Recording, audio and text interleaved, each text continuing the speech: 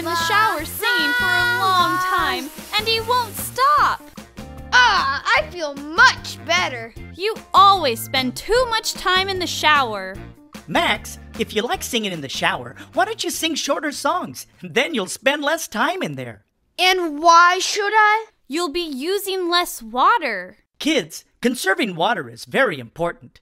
If we all do it, we'll have enough water to share with everyone. Oh, yeah! We, we can, can, do it. it! We can do it! We can do it! Here and now, it's time to do it! Ditui!